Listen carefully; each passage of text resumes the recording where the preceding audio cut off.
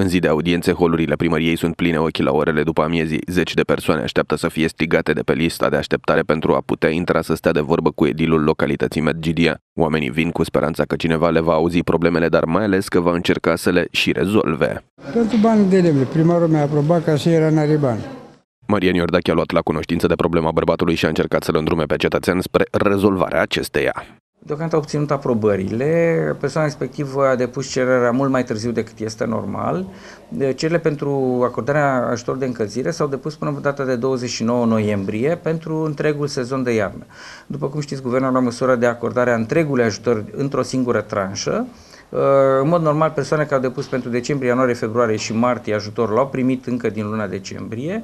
În luna ianuarie au fost primiți banii pentru persoane care au depus uh, cererile în luna decembrie și au primit pentru ianuarie, februarie și martie, deci pentru 3 luni. Dumnealui a depus uh, cererea de-abia în ianuarie și are de primit bani pentru uh, februarie și martie. Suma de 30 de lei este suma ajutorului solicitat și îl va primi probabil în cursul săptămânii viitoare. Au existat și persoane nemulțumite de faptul că nu pot demara activitățile comerciale din cauza unor probleme apărute pe parcurs. Întreb dacă băiatul are un service care s-a făcut în locul ACAP și nu, nu alimentează cu curent. Să-l întreb pe domnul primar, că a zis că nu mai are posibilitate să-l mai alimenteze din cauza că e prea încărcată rețeaua. Am pus întrebări în legătură cu posibilitatea de a transforma un șopron care a fost cumpărat undeva în zona fostului CAP într-un service auto Uh, neavând suficiente informații în legătură cu modul de transformare unei astfel de construcții.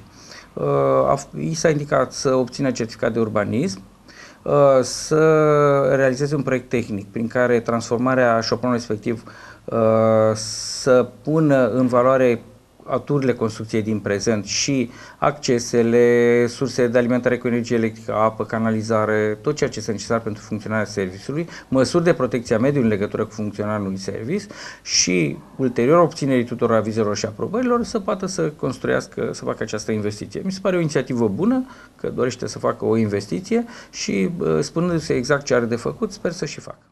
Nemulțumirile nu s-au oprit însă aici. O altă persoană însoțită de fiice a venit pentru a cere un sprijin financiar de tip ajutor social. Pentru fată că ea a suspendat ajutorul social, că ea e și cu ochișorii cu handicap. Răspunsul nu a întârziat să apară, astfel că persoana poate beneficia de ajutor numai după ce va depune o documentație din care să reiasă că are probleme de sănătate. Persoana respectivă este o persoană tânără care și-a pierdut capacitatea de muncă ca urmare a stării, o problemă cu vederea, ca urmare a acestei uh, probleme poate beneficia de ajutor social, dar uh, numai în urma unei expertize a Comisiei pentru stabilirea uh, pierderii capacității respective. Până acum a prezentat certificate medicale de la medic specialist și s-a acordat ajutorul social.